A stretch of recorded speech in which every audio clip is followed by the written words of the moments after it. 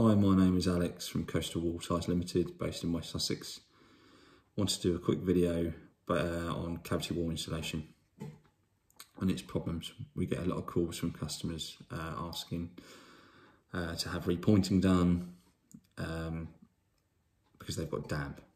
We go to the job, look at the pointing, nothing's wrong with the pointing, have a look at the damp.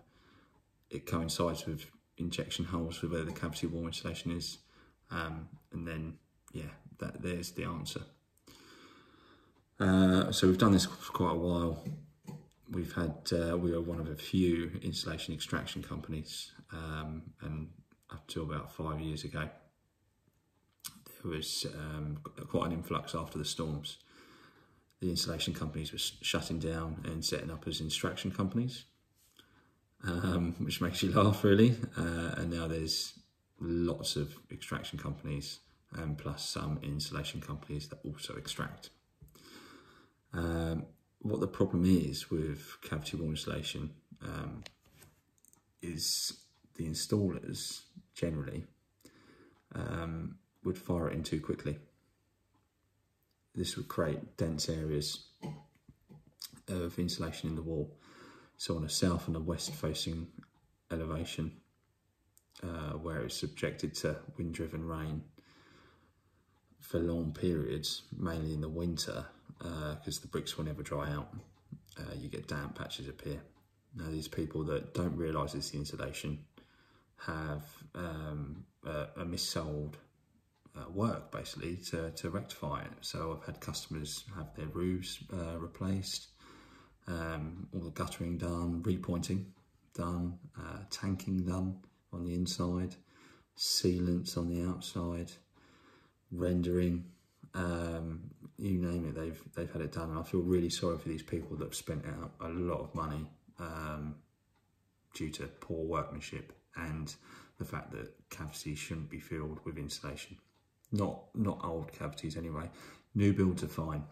Um, their method's absolutely fine. You have solid bats of insulation that full backed called Celotex. That's fixed to inside the cavity, but on the inside wall.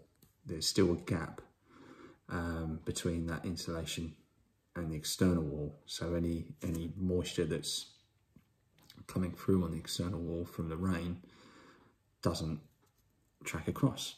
So why they feel old cavity walls with insulation that's not waterproof, I haven't got the foggiest. It's crazy idea and I can't believe that the government are still allowing this to happen.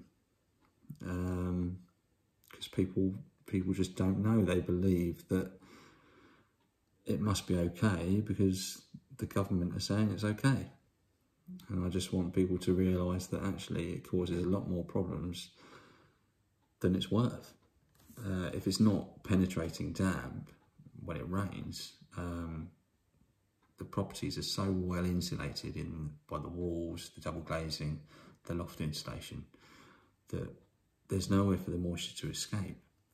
And they're not advising people who have cavity insulation how to ventilate because you need to ventilate and have that air exchange and you also need to heat your property. Otherwise, the people that in the winter, they turn their heating on and off. Um, most people turn their heating off at night thinking that they're saving money, you know, they're asleep, under cover, so they don't need it. But what happens is you have the heating on during the day. Uh, that means more moisture can be held in the air when it's a higher temperature. So you're doing your cooking, you're cleaning, you're showering, you're breathing, um, and it's absolutely fine. You've you haven't got a problem because the, the air can take that moisture vapor. Um, but then you turn it off at night and all of a sudden the air cools, humidity level goes up uh, to saturation point and, yeah, and it cools and finds cold surfaces uh, to condense on. And then you get the mold growth because you've got stagnant water um, sitting in these cold places. Uh, that's a breeding ground for mold. Um, so it's really important to know how to heat and ventilate your house. Um, So basically you've got to keep your heating on at one level all throughout the winter, um, 18 degrees say. Um, your boiler, it's not going to cost you the earth because the boiler will just kick in, kick out, as opposed to sort of if you let it drop to nine by turning heating off um, and then turning it on and wanting it to be 18, 20, it's going if you do it that way, it's going to stay on for that period of time until it reaches that desired temperature. Whereas if you set it at 18 uh, constantly, it's just going to kick in, kick out, and it's going to do very little work because all the surface temperatures and, and the air is pretty much at that level anyway. Uh, so next comes the ventilation. Obviously you don't want to open your windows in the winter because it gets really cold and it kind of defeats the object of heating your house, but you do need to have that air exchange, um, especially in bedrooms because we let out a lot of moisture when we breathe. Um, and we're in the bedroom for a good nine hours. Um, so you need to have the windows slightly open. Um, trickle vents don't seem to be enough. These are these are small vents above the, the glass on the window. Um, normally you've got a grill or something there. And you can open, open and shut them. Um, they're not quite enough, really.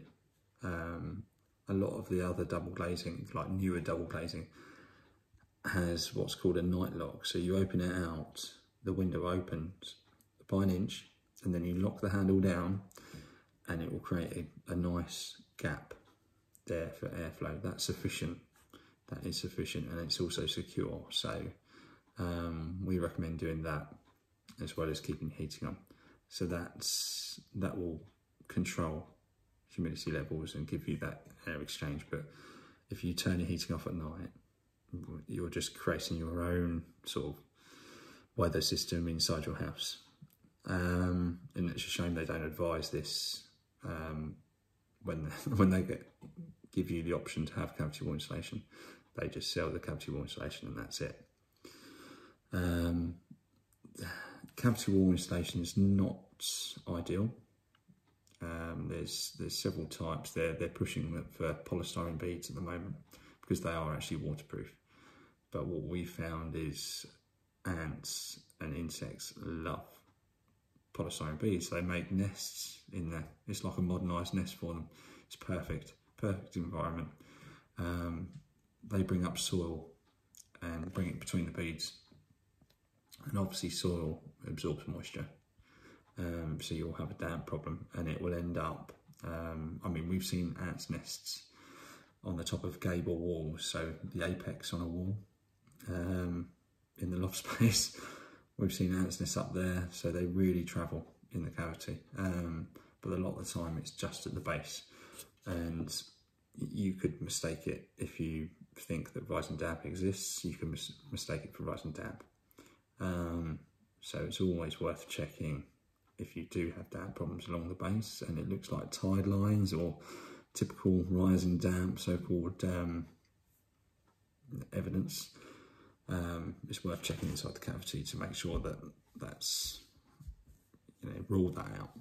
Um, also with the beads, although they're bonded with a, a, a glue, if you say wanted a bifold door and you've only got a patio door there, um, you would have to take some bricks out, the brickwork down. Breaking that, that bond of the beads, it would just make a huge mess, um, go everywhere, and then you'll have areas of uninsulated cavity, creating cold spots, etc, etc. So they're not ideal. They're really not ideal. Uh, very messy. They'll go everywhere. Um, you can get under bonded beads, so the glue hasn't set in the cavity, so they're just the beads are just free flowing in there. Um, again, if you have alterations, that could be a problem, um, and you'll you'll just be covered in beads all over all over the show. Um, but you can also get over bonded beads, so the, there's too much glue gone in there, um, and it's set rock hard. Uh, this can have an effect on your external walls um, and actually sort of course cracking um, it's putting pressure um, on the walls.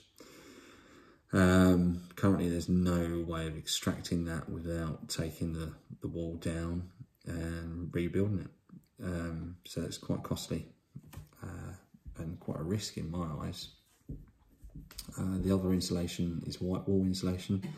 They claim uh, that that is water resistant, not waterproof, um, and it's water resistant for, for well, it seems like about 10 years. Um, but again, it depends on how it was installed as to how long it lasts. Uh, it was sold as waterproof by many surveyors for the insulation industry, but it's certainly not. It's like a sponge. Um, that material, the white wool, was or does seem to be the one that was installed the worst because beads you can't really fire under pressure. Um, but white wool is certainly the worst one.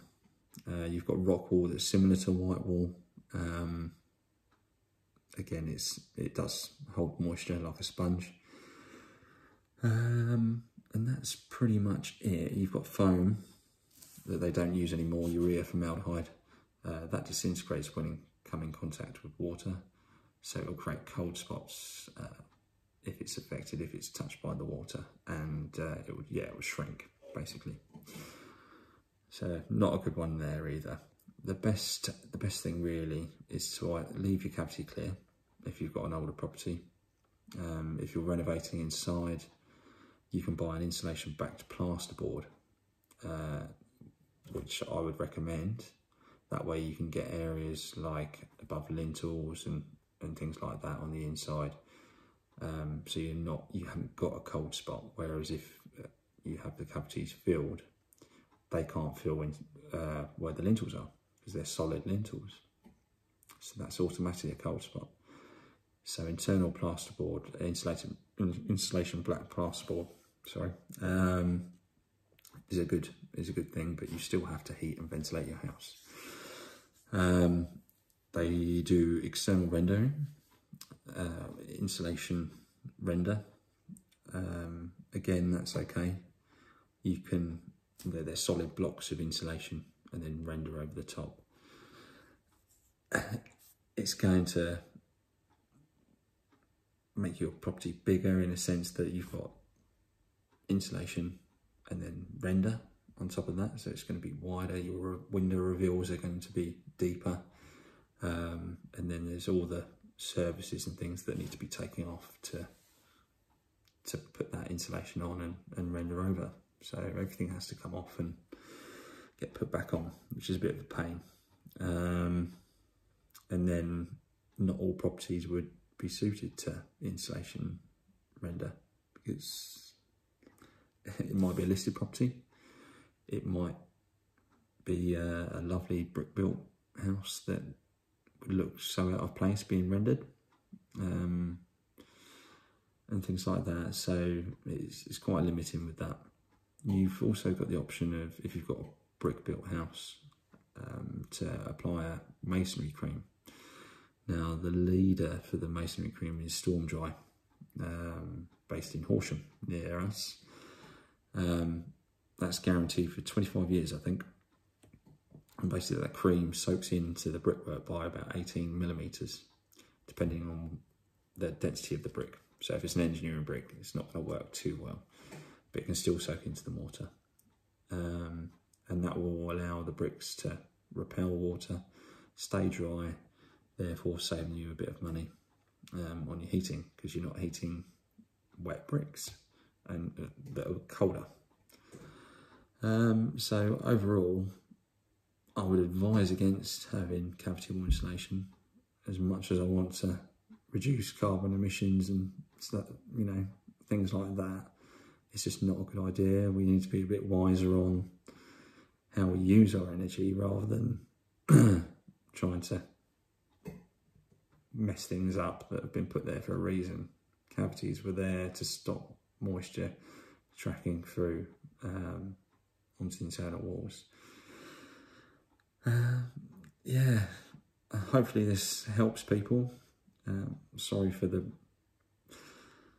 Our, you know, the first video that we've done, it's not the best, but uh, hopefully I've helped nonetheless. I'm going to do a, a video on condensation um, towards nearer October. Uh, hopefully you've enjoyed this video and found it useful. If you want to subscribe, I'll try and do some more videos um, to help people out.